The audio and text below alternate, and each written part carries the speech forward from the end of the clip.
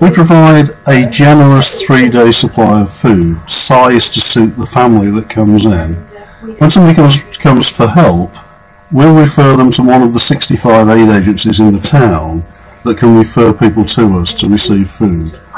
They will tell us what the problem is, where the people are living, what size the family is. They'll bring that voucher back to us. We will then make up a food parcel specifically for them that will cover the needs of their family. We've also added to that uh, some of the basic necessities of life, things like toilet rolls, toiletries, sanitary products, things that we don't even think about normally. But if you can't afford food, you can't afford those either.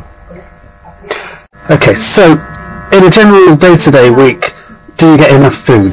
No, we don't.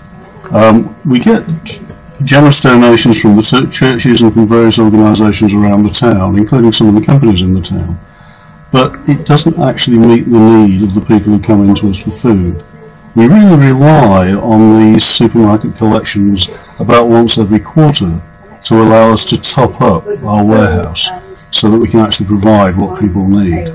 If they could go into Tesco, pick up a, a shopping list from one of our volunteers who are, who are in the foyer, take that into the store, buy one or two or three or four, whatever they can afford items from that list, and then deposit it into the collection baskets on the foyer as they leave the store, we can then use that to help feed people who cannot feed themselves and their families at the moment.